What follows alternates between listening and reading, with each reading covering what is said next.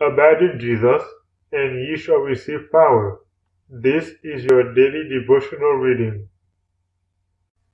Inspired by the Spirit, August 2nd. Variety in Styles.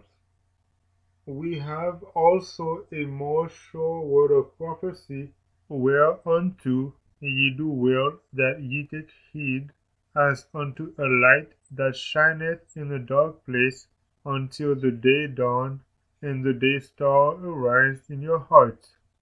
2 Peter 1 verse 19.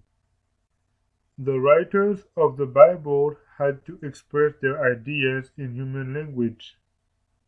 It was written by human men. These men were inspired of the Holy Spirit. Because of the imperfections of human understanding of language, or the perversity of the human mind, ingenious in evading truth, many read and understand the Bible to please themselves. It is not that the difficulty is in the Bible. Opposing politicians argue points of law in the statute book and take opposite views in their application and in these laws.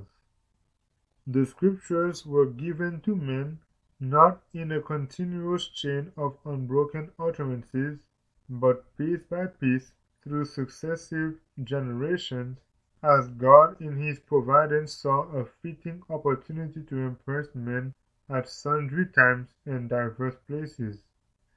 Men wrote as they were moved upon by the Holy Ghost. There is first the bud, then the blossom, and next the fruit, first the blade, then the ear, after that the full corn in the ear. Mark chapter 4 verse 28. This is exactly what the Bible utterances are to us. This is exactly what the Bible utterances are to us. There is not always perfect order or apparent unity in the Scriptures.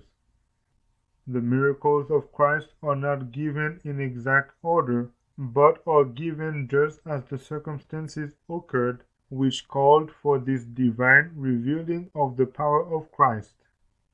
The truth of the Bible are as pearls hidden. They must be searched, dug out by painstaking effort. Those who take only a surface view of the Scriptures will, with their superficial knowledge, which they think is very deep, talk of the contradictions of the Bible and question the authority of the Scriptures. But those whose hearts are in harmony with truth and duty will search the Scriptures with a heart prepared to receive divine impressions. But those whose hearts are in harmony with truth and duty will search the Scriptures with a heart prepared to receive divine impressions inspired by the Spirit, August 2nd.